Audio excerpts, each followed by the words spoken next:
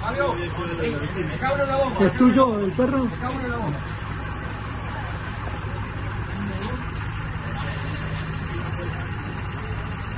Santiago,